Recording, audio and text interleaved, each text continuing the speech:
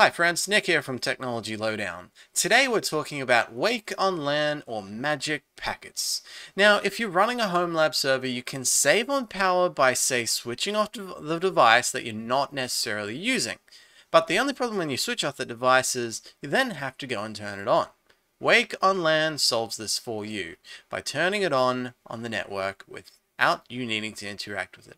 Why I started going down this path was the other week I moved from storing most of my data on a Synology NAS to a TrueNAS machine. Now admittedly it is just a standard desktop that I had laying around that I set up with two drives in a mirror array.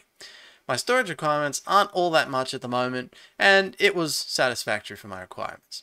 Now the other priority on my list was backups for TrueNAS, as RAID isn't a backup.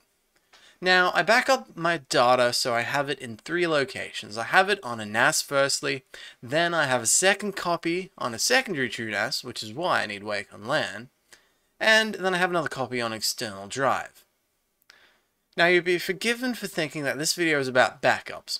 Well, it's not, but that's just the background. We're looking at Wake on LAN. Because I don't change my data all that often, I couldn't see the need for having a secondary TrueNAS system online all the time. I figured I could probably just run a weekly backup and sync my data to another machine, which is what I plan on doing. Which brings me to why I wanted to use Wake on LAN. So I wanted a backup system, a secondary TrueNAS that would turn on and off as required to run the required backup now, I could physically switch the machine on, but this would require me to uh, going there, turning it on at a certain time to run the backup, and if I miss that backup window, well, I'll probably have to start it off manually. This is probably too hard to keep up with and inconsistent. I didn't want to be responsible for that. My solution was Wake on LAN. Now, with Wake on LAN, it enables you to do this. When your computer is in a shutdown state, its Ethernet report will remain active and registered on the network. Now it's not going to pass data, but it will remain active at the data link layer.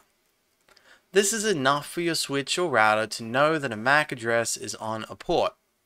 Then the way Wake on LAN works is by sending out a broadcast known as a magic packet, where within its payload are 6 bytes of all 255 which is FF, FF, FF, FF, FF, FF FF in hexadecimal followed by 16 repetitions of the target computer's 48-bit MAC address for a total of 102 bytes. And this is Wake on LAN. So how does my use case work here? Well, if you've got an old computer laying around or your NAS system, you'll firstly need to check your system's motherboard configuration. You'll need to find the setting that enables Wake on LAN. If you have a new system like mine, well, it's not that new, but it's got eco settings built into it. You may need to switch off the eco saving features and enable Wake on LAN under your power on options to allow the system to power up. This is how I've done it on this MSI motherboard. While you're here, take note of the MAC address. If you can't find your MAC address in the BIOS, don't worry, I'll show you another way you can get it later.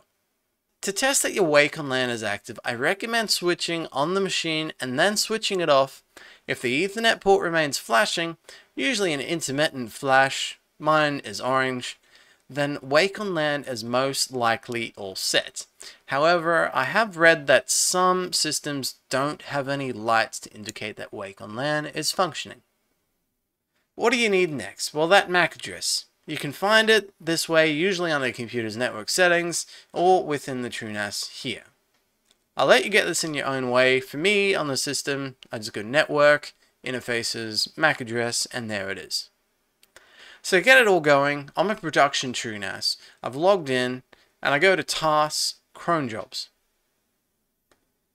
I've then created a task, ran as root, because for the wake on LAN command, you need to run it as a sudo user. The command is simply wake em0 MAC address. Now, if you find this command doesn't work in TrueNAS, it could be that you've got the wrong interface name. In which case, go back to Network, Interfaces, and you'll find your uh, interface name there.